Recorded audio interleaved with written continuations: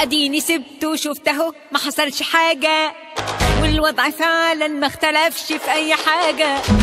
باكل واضحك بشتغل وأعمل كل حاجة. لا لا مش زعلانة وكئيبة. مش ماسكة صورته وبتقهر زي العبيطة. ولا ماشية وبخبط دماغي في كل حيطة.